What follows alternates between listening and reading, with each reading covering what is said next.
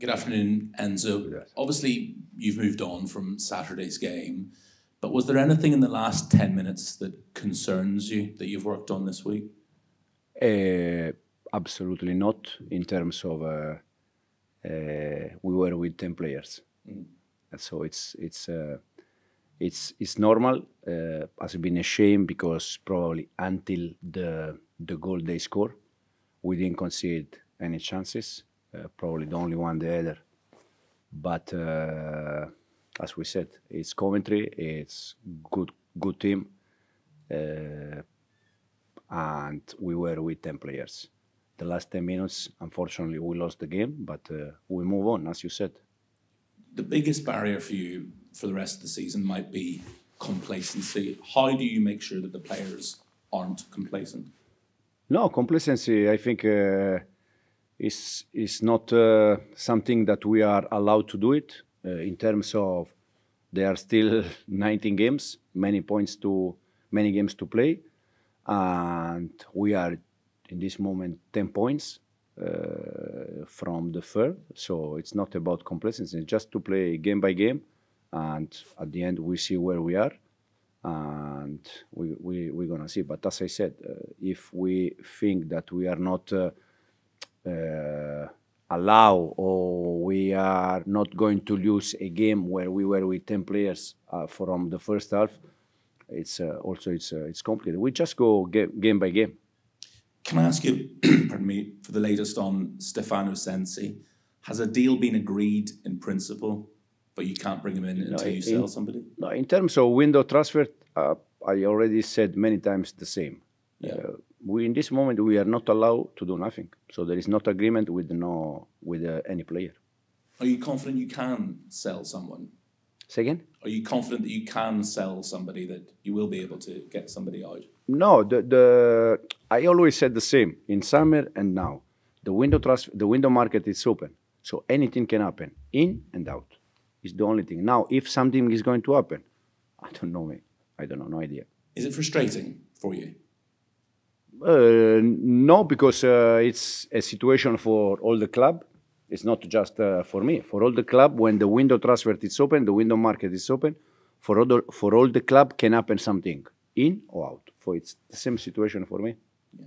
Can I just finally ask you uh, about the game itself? Obviously, it's fairly recently you played Ipswich. What impressed you most on Boxing Day? What did you learn about them that night? No, they are an, um, an unbelievable team in, and you can see from last year what they have done last year and this year. And the good thing about them is that they are already working with the same manager and with the same idea. It's already a long time, so that helps a lot. And you can see that uh, what they do, they do fantastic. Grazie. Stuff. Hi Enzo, hope you're okay. um, just on the injuries ahead of the game on Monday night, how is uh, how's Jamie Vardy doing? Jamie is back. Uh, he's full training now with us, so it's uh, it's better. And do you have any fresh concerns ahead of the game? Any new injuries? No, the only one that is out since Coventry game is Kiernan Dewsbury-Hall because of the foul he received in the penalty and he had a problem about that and he's not training with us until today. Hopefully we see for Monday game, but at the moment he's he's out. Okay.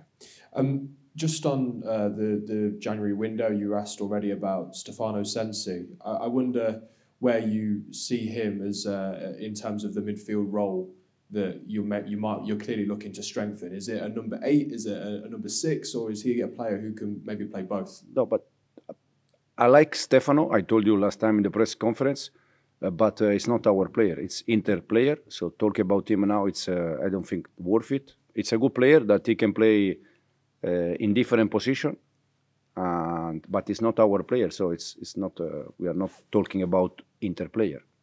Um, you already uh, mentioned earlier in this press conference about the, the need that you still need to move players out of the door. Is that any closer to happening? No, I just said no close in, no close out. Okay. Um, what reaction have you seen from the players following the, the game against Coventry City coming back into to training this week? The, the immediately after the game, the mood was not uh, the best one, simply because we lost the game. But then, as we said before, we move on. Uh, I don't think uh, there is any problem to lose a game that uh, that we lose last week. And the mood is immediately after game we were not happy, nobody was happy. And then after two days we start to think about uh, Ipswich game. I saw a number of the players had gone away for a couple of days. Ricardo was back at uh, Porto, and I, th- I think Stephy Mavididi was in Disneyland. Um, how important is that, I guess, after a, a, defeat like the one against Coventry, and that mood in the dressing room for the players to have a couple of days where they can they can go away before you regroup? Fantastic. I didn't move because I have four kids. Otherwise, I was moving too. Um, Ipswich Town, we've spoken a lot this season about expectations of how teams are going to come and play against you. And it's, you know, we, we spoke about high presses, we spoke about deep blocks. What are you expecting from Ipswich on, on Monday night? Now, the same game they played at home because they used to play the same game at home and away. So more, more or less similar game that uh, we play in Boxing Day. You are suspended on the touchline for the game on Monday night. What challenges will that pose for you trying to lead the team from in the stands? No, anyway, there is uh, Willie, there is Danny on the bench. They they're gonna be they're gonna be there to try to to help the team in the way I do when I'm on the bench. Nothing nothing more. It's nothing different, or we need to have a plan how we we have two player two two person there and I will be also in contact with them, but no more, no more than that. Enzo, thank you very much. Best luck on Monday. Thank you. Hi Enzo, hope you're well. Good to see you. You could go 10 points clear of Ipswich if you beat them. Does that mean anything to you at this point in the season? Uh, no, because we can also go four points. it's uh, yeah, it's it's it's now from now to the end. It's always uh, a game or a chance where you can go more or same points or less points but that means nothing because if we are if we go 10 points we have still 18 games to play if we go if we maintain the same distance 7 points is the same ones 18 games to go and if we draw points will be exactly the same it's still long race uh, but uh, we are happy in the position we are now out of all the top six you could argue that they're the surprise package having been promoted last year, but they've lost the least out of the entire championship, including the, the top six. Can you pinpoint why they've been so successful? For me, because watching them many many games, they do what they do very good. So it's a team that they work with same idea, with same manager already long time. So this help a lot and you can see that what they know exactly what they have to do every game, and this is a, a, a good thing, important thing.